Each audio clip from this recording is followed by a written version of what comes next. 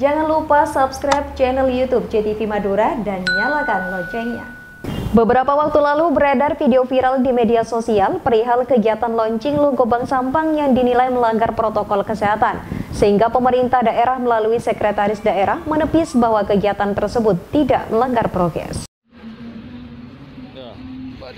Pemerintah daerah melalui Sekretaris Daerah Yuliadi Setiawan menanggapi video viral yang terjadi di Kabupaten Sampang, Madura perihal kegiatan launching logo Bank Sampang yang dikritik oleh warga setempat pada waktu lalu. Setelah ramai menjadi perbincangan hangat, Sekda memanggil Kasat Pol PP dan gugus tugas COVID-19 untuk meminta keterangan kejadian pada kegiatan tersebut dan menugaskan untuk diperiksa.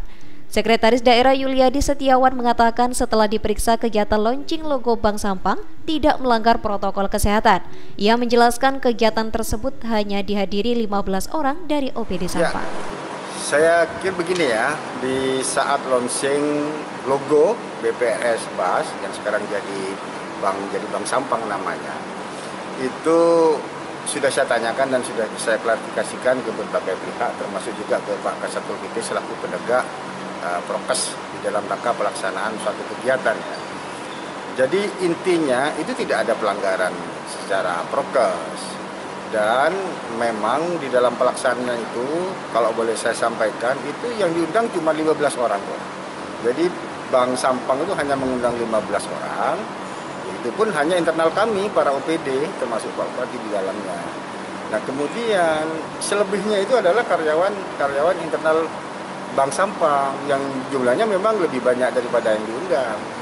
Nah, saya sudah tanya ke Pak Kasatul BP, apakah sudah ada pembinaan sebelumnya? Sudah, sudah dilakukan. Dia mengajukan permohonan resmi kepada tim gugus tugas, lalu disampaikan tata cara pelaksanaan kegiatan pakai hand sanitizer, pengukur suhu, jaga jarak, sudah semuanya. Kalaupun... Selain itu, sebelum masuk ke acara kegiatan launching logo ini, semua tamu diperiksa dan diwajibkan memakai masker, hand sanitizer, dan sudah dari awal dilakukan pembinaan dan pengawasan, serta tidak ada pelanggaran. Ali Muhdor, CTV.